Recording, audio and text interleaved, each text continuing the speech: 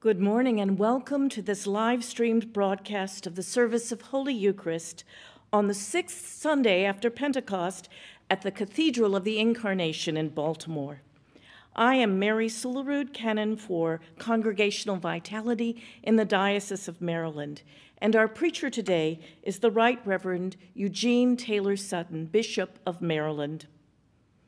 We are so glad that you are with us on this day. Please download the bulletin by pressing the red button above the video screen. Join us in the hymns and the prayers. Let us begin our worship with hymn 376, Joyful, Joyful.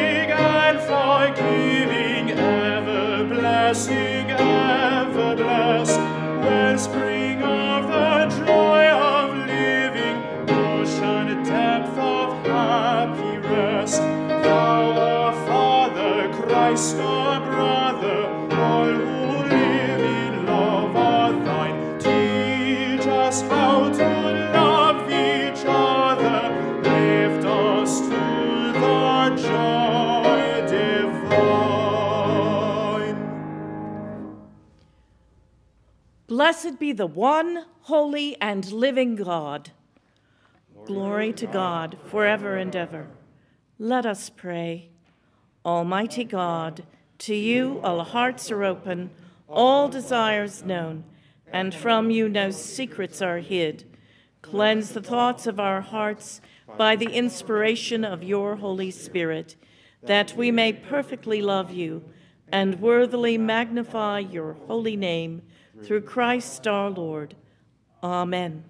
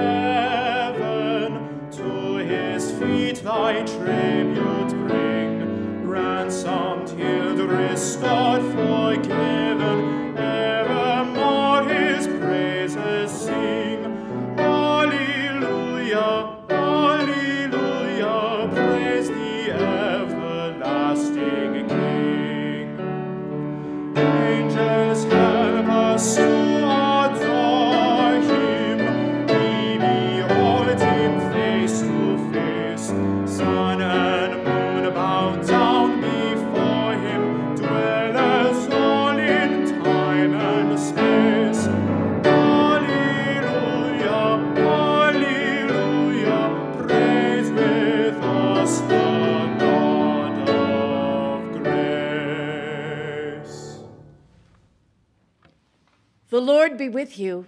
and also with you. Let us pray. O Lord, mercifully receive the prayers of your people who call upon you, and grant that they may know and understand what things they ought to do, and also may have grace and power faithfully to accomplish them. Through Jesus Christ our Lord, who lives and reigns with you and the Holy Spirit, one God, now and forever. Amen.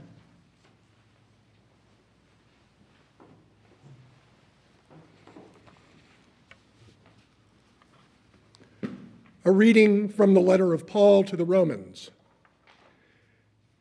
There is no condemnation for those who are in Christ Jesus. For the law of the Spirit of life in Christ Jesus has set you free from the law of sin and of death. For God has done what the law, weakened by the flesh, could not do by sending his own Son in the likeness of sinful flesh and death. And to, and to deal with sin, he condemned sin in the flesh so that the just requirement of the law might be fulfilled in us who walk not according to the flesh, but according to the Spirit. For those who live according to the flesh set their minds on the things of the flesh, but those who live according to the Spirit set their minds on the things of the Spirit. To set the mind on the flesh is death, but to set the mind on the Spirit is life and peace. For this reason, the mind that is set on the flesh is hostile to God. It does not submit to God's law. Indeed, it cannot. And those who are in the flesh cannot please God. But you are not in the flesh. You are in the Spirit, since the Spirit of God dwells in you. Anyone who does not have the Spirit of Christ does not belong to him. But if Christ is in you, though the body is dead because of sin, the Spirit is life because of righteousness. If the Spirit of him who raised Jesus from the dead dwells in you. He who raised Christ from the, from the dead will give life to your mortal to your mortal bodies although also through the spirit that dwells in you the word of the lord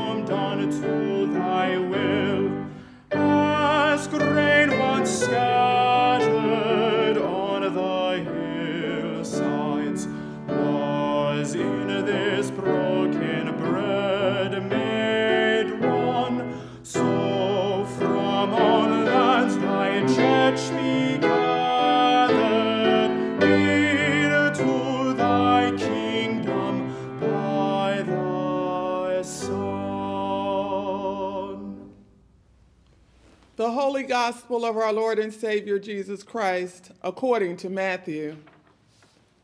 To you, Jesus went out and sat beside the sea. Such crowds gathered around him that he got into a boat and sat there, while the whole crowd stood on the beach. And he told them many things in parables, saying, Listen.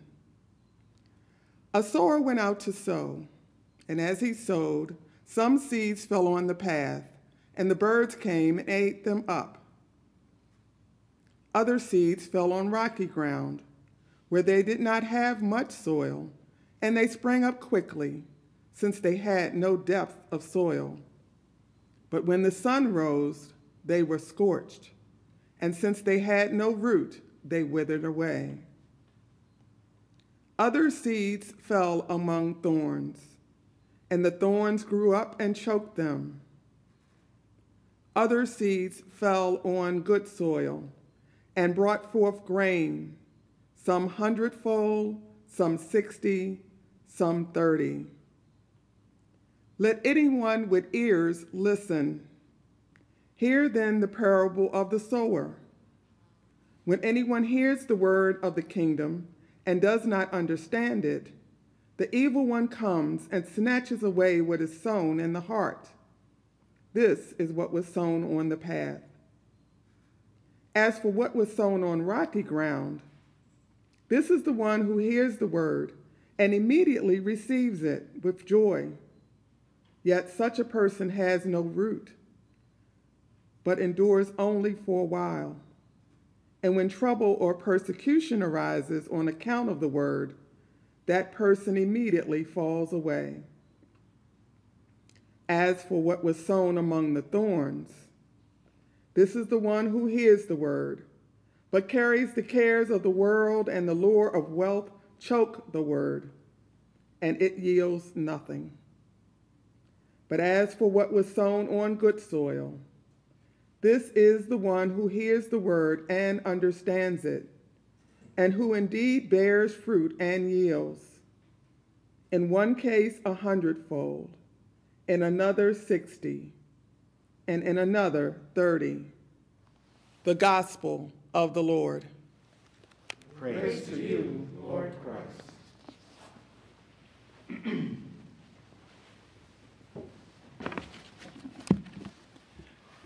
Let us pray.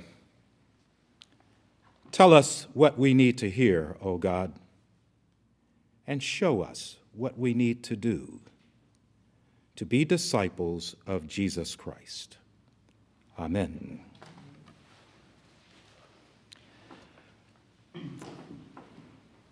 Well, some time ago, a preacher writing about this parable described being raised as a member of the Clean Plate Club.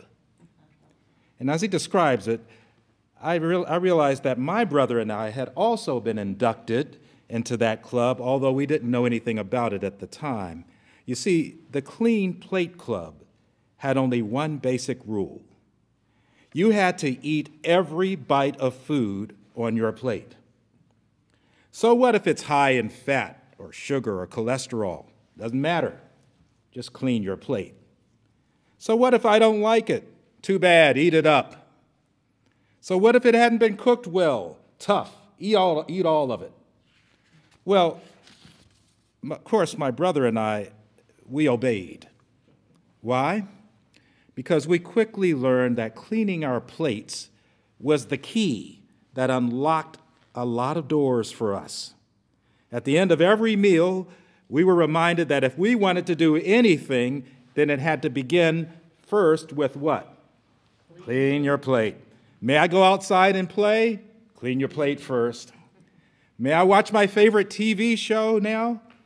Clean your plate first. May I go to the bathroom? Clean your plate first. Can I go to college?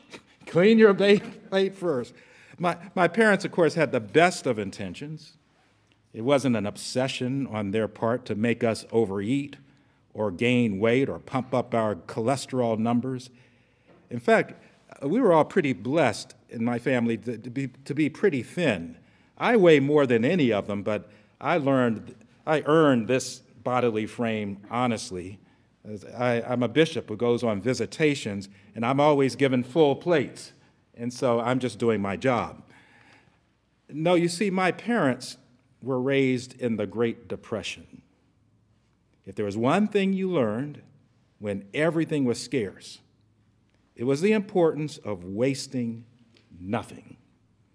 Food was too scarce and too expensive a commodity to have any of it go to waste. In fact, wastefulness is a sin. We were raised in a Christian home, and we were taught to be good stewards, that is, good caretakers of all that God has given us, that God has provided for us. Anyone who's serious about being faithful stewards of God's good gifts knows that wasting those gifts is a sin against the giver. It's a sin, it's wrong to waste food, buying too much of it, preparing too much of it, eating too much of it. It's just wrong. It's a sin to waste water when we shower or shave or even wash dishes. It's a sin to pollute our streams and rivers, lakes, and the Chesapeake Bay. It's a sin to waste trees, pollute our air, and desecrate our soil. When we human beings degrade our environment and waste our inheritance of clean air, lands, and waters, then it's a sin against God, against ourselves, against our neighbor, against our children. I think you may all agree with that, right? And yet, right here in this morning's gospel lesson, we are confronted with a strange incident. Jesus tells us about a farmer sowing some seeds in the hope of having a good harvest. In those days, there were at least two ways of sowing seeds, which were common.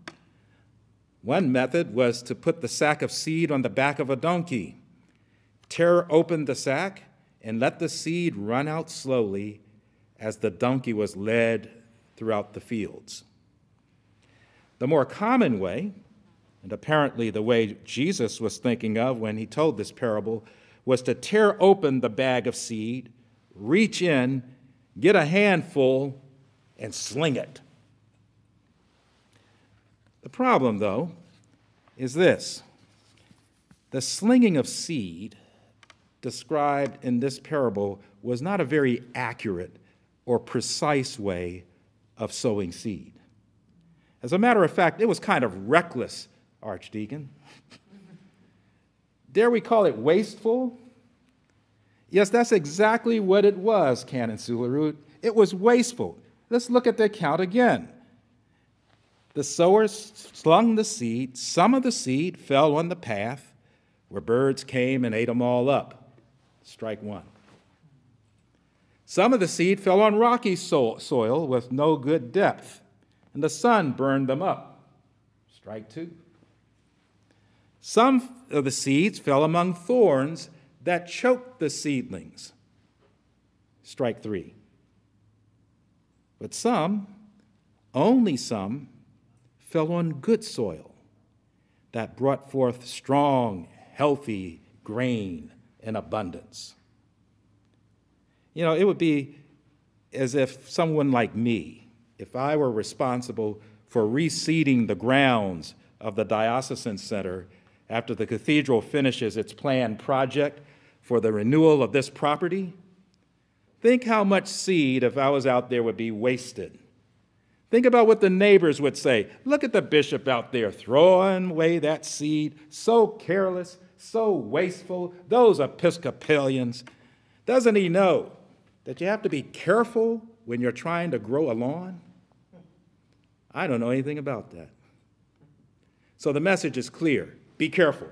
Be careful with those seeds. Don't sling them. Above all, don't waste them. But in the parable, who was Jesus talking about? Who was the sower? There's some possibilities. Was the sower some young farmer, inexperienced with time honored practices that protect your investment of seeds? Probably not. Or maybe she has more seed than she knows what to do with. Not likely. Or maybe he's an eternal optimist. You know the type.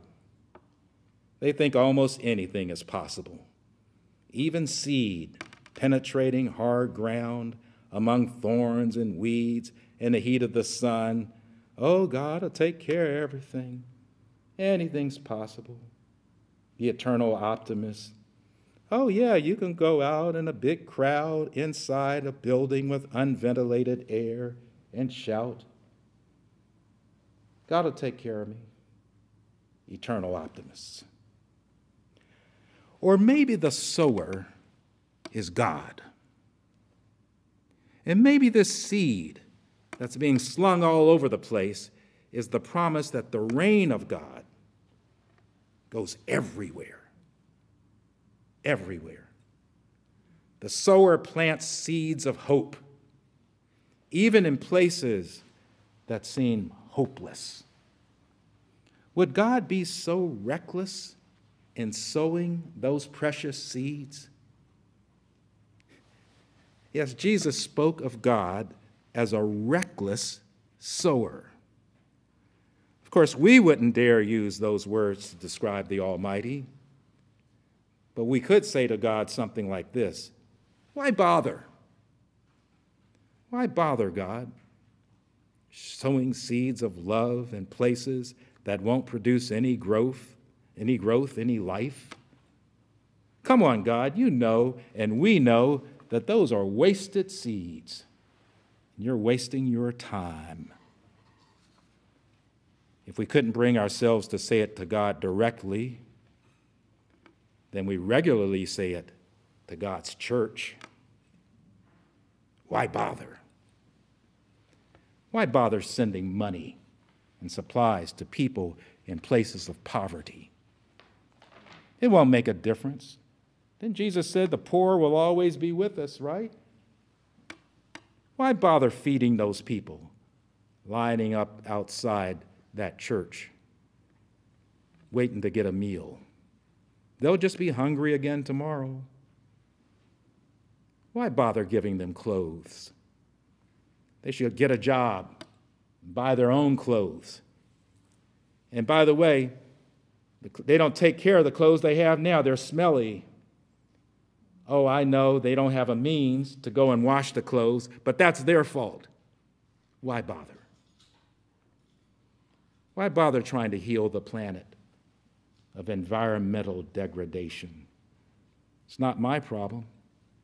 And it costs too much for it to fix it up anyway. I can't do anything about that. Why bother? Why bother trying to set up reading camps for young kids to teach them to read more and better, as several churches in our diocese are doing across the state? Why bother with the Sutton Scholars Program for high schoolers in Baltimore to get them off the streets in the summertime and to show them that there's a better future for them and we're going to invest in you? But why bother kids? Why bother with the Truth and Reconciliation Commission trying to stir up things and make us see what we don't want to see? I have no time for that. I don't want to feel bad about myself. Why bother with reparations to repair the wrongs that I had nothing to do anyway, do with anyway? Why doesn't the church just stick to preaching the gospel and saving people's souls? Why bother? Why bother trying to right the wrongs of generations of a system that degrades people of color? or who find themselves in a cycle of poverty, crime, injustice, and violence. I'm no racist, but it seems that nothing we do will ever make a difference in their lives. And we don't want to throw money at those problems. Throwing money at them. I can't think of a more offensive image for the people of God to throw money at them. You know, you only throw money at the poor in our society. It's like throwing paper towels to people in need. You never throw money at the rich. We're blessed in this diocese to have some schools that are fairly well endowed. And it costs thousands and thousands and thousands of dollars per student. But I never once heard someone say, well, I guess we're just throwing money at the rich kids throwing money at the problem. Only a rich person would say that, who has enough of it. There the church goes, slinging seeds, when we know that so many will fall on dry, rocky ground, where they're likely to die. Aren't there enough failures and disappointments in life without setting up ourselves for more? Why do we bother? Why does God bother? Well, if you're in love, you don't count the cost. When you're in love, and when you love somebody, you do whatever you can. I grew up in Washington, D.C public schools in Washington. By the time I was midway through high school, I started to fall through the cracks. The streets, the people around were, were claiming me, drawing me away from being all that God intended for me to be. I was just falling. Some of the teachers could see that. They didn't know what to do. My parents saw that, didn't know what to do. Here's what happened I was rescued by God. There were some people who told me about the love of Jesus and what that could mean in my life. And I was rescued by some of God's loving people who reached down from all over the Washington area to try to pick this young black kid up in Washington, me and my friends. And they spent time with us, they guided us. They made sure that we had more opportunities than the local school system could provide. They invested in me. They believed in me. And that's why I'm here now, 50 years later, because they bothered. My friends, if we can just learn to be as reckless, as extravagant as God is in spreading God's love, mercy, compassion, and justice everywhere, even on rocky soil, then we wouldn't have to insist that everyone in our new community of love clean their plates. No, instead, we're going to give them clean plates. And we will continue to love them, feed them, shelter them, and encourage them, feeding them the bread of heaven until they want no more. At least that's the way I see this parable. In the name of the Father, and the Son, and the Holy Spirit. Amen.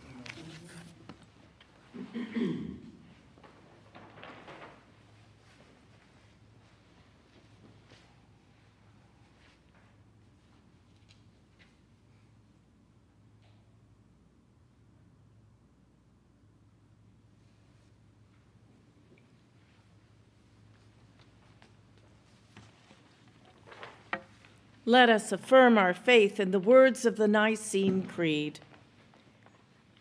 We believe in one God, the Father, the Almighty, maker of heaven and earth, of all that is seen and unseen. We believe in one Lord, Jesus Christ, the only Son of God, eternally begotten of the Father, God from God, light from light, true God from true God begotten, not made, of one being with the Father. Through him all things were made. For us and for our salvation, he came down from heaven. By the power of the Holy Spirit, he became incarnate from the Virgin Mary and was made man. For our sake, he was crucified under Pontius Pilate. He suffered death and was buried. On the third day, he rose again in accordance with the scriptures. He ascended into heaven and is seated at the right hand of the Father. He will come again in glory to judge the living and the dead, and his kingdom will have no end. We believe in the Holy Spirit, the Lord, the giver of life, who proceeds from the Father and the Son with the Father and the Son, he is worshiped and glorified. He has spoken through the prophets. We believe in one holy Catholic and Apostolic Church. We acknowledge one baptism for the forgiveness of sins. We look for the resurrection of the dead and the life of the world to come. Amen.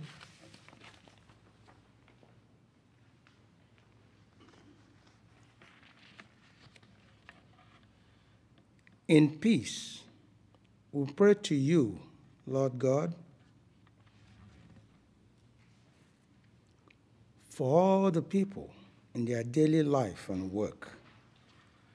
For our families, friends, and neighbors, and for those who are alone. For this community, the nation, and the world. For all who work for justice, freedom, and peace for the just and people use of our creation. For the victims of hunger, fear, injustice, and oppression.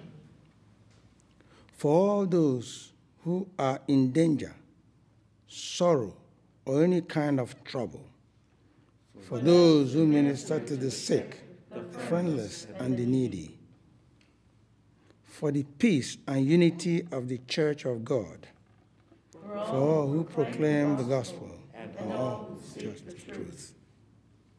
For Michael, our presiding bishop, and Eugene and Robert, our bishops, and for all bishops and ministers, all who serve God in our church, for the special needs and concern of this gathering. We pray especially for all who have been adversely affected by COVID-19 pandemic. The people are invited to voice their own petitions.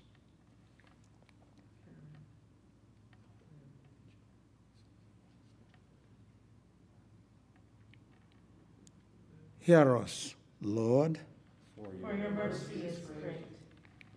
We thank you, Lord, for all the blessings of this life. We pray in thanksgiving for all those who are putting their lives at risk to care for the sick and provide essential services during the pandemic. The people are invited to voice their own thanksgiving.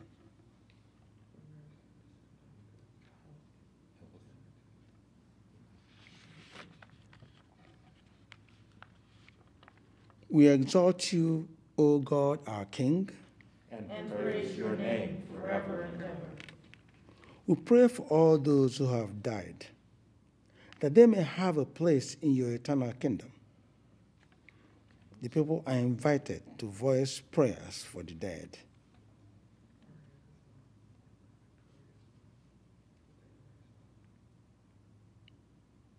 Lord, let your loving kindness be upon them. Who put their trust in you.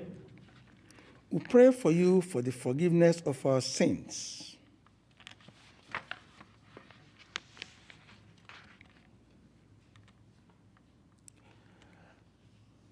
Have mercy upon us, most merciful God.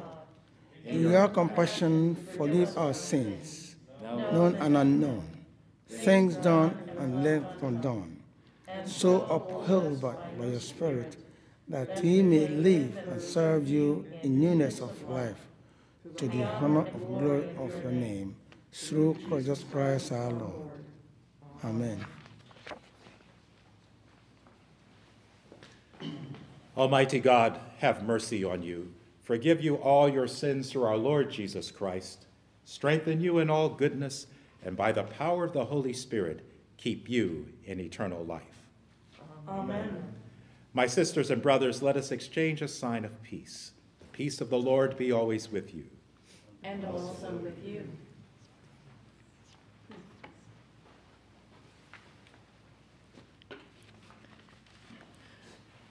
Good morning again, and thank you for joining us in our worship. And thank you, Bishop Sutton, for always preaching the word that we need to hear. This is the time when we give something of what God has abundantly given us. It's our opportunity to either give to your own congregation, to the Diocese of Maryland, or the cathedral to make possible incredible opportunities for ministry and mission in a world in such need of such gifts. You can do this by pressing the yellow button above the video screen, which will take you to a link and opportunities to give to the church of your choice. Walk in love as Christ loved us and gave himself for us, an offering and sacrifice to God.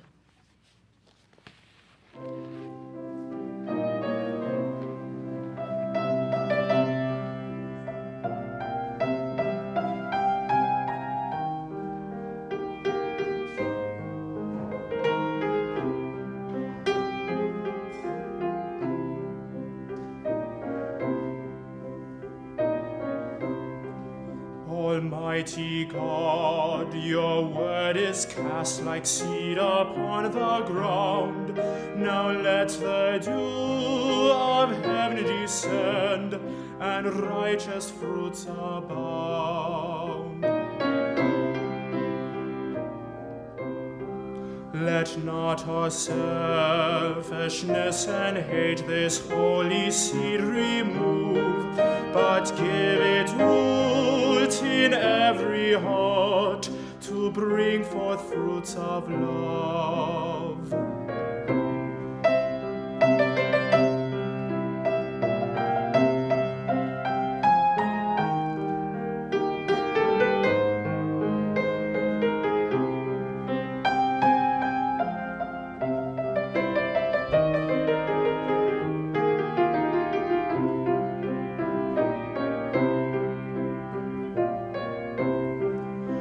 Let not the world's deceitful cares the rising plant destroy, but let it yield a hundredfold the fruits of peace and joy.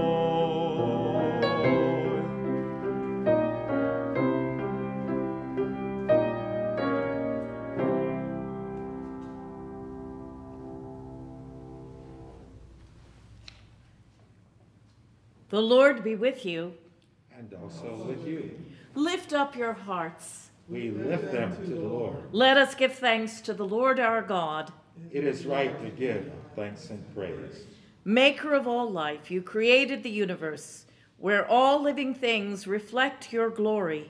You give us this great and beautiful earth to discover and to cherish.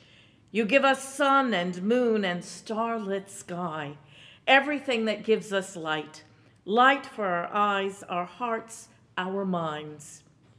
You give us your love even when things go wrong. Jesus knew hurt and pain. Through him, you wipe away our tears and fill us with your peace. You made us all each wonderfully different to join with the angels and sing your praise.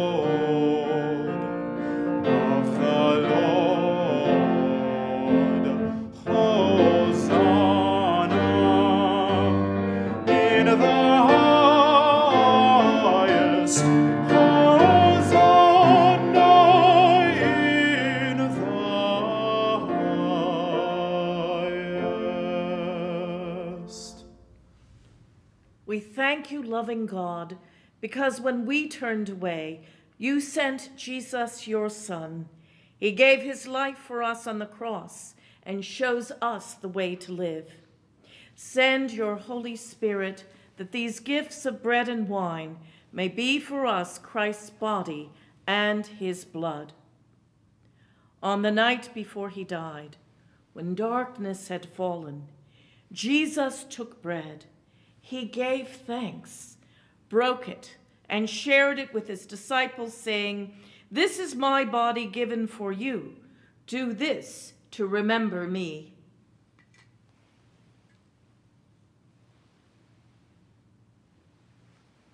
After they had eaten, he took the cup of wine, gave thanks, and shared it with his disciples, saying, This is my blood poured out for you and for all for the forgiveness of sins.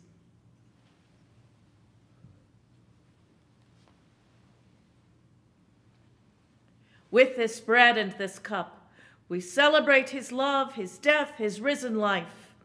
As you feed us with these gifts, Send your Holy Spirit and change us more and more to be like Jesus, our Savior. Help us to love one another as we look forward to that day when suffering is ended and all creation is gathered in your loving arms. And now, with all your saints, we give you glory through Jesus Christ in the strength of the Spirit today and forever. Amen. Amen.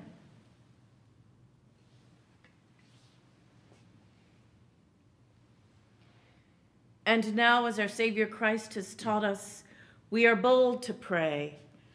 Our Father, who art in heaven, hallowed be thy name. Thy kingdom come, thy will be done, on earth as it is in heaven. Give us this day our daily bread, and forgive us our trespasses, as we forgive those who trespass against us. And lead us not into temptation, but deliver us from evil. For thine is the kingdom, and the power, and the glory, forever and ever. Amen.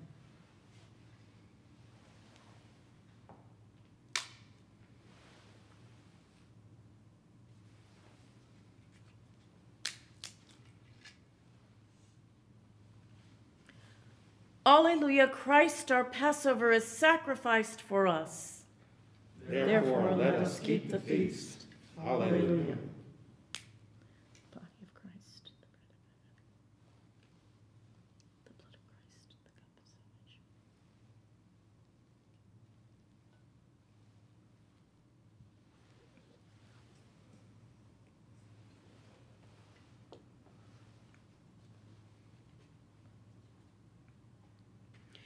Let us pray together a prayer for spiritual communion.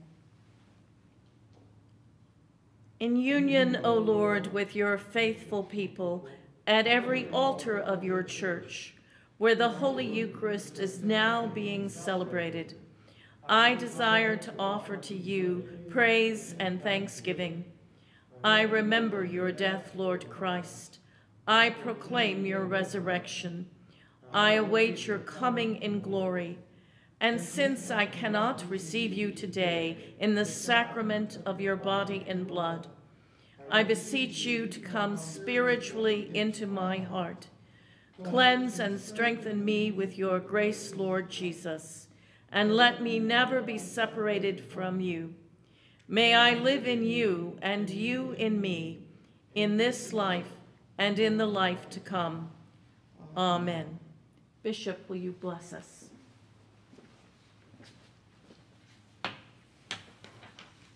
And now may the peace of God, which passes all understanding, keep your hearts and minds in the knowledge and the love of God and of his Son, Jesus Christ our Lord. And the blessing of God Almighty, the Father, the Son, and the Holy Spirit be upon you and remain with you forever. Amen. Amen. thank you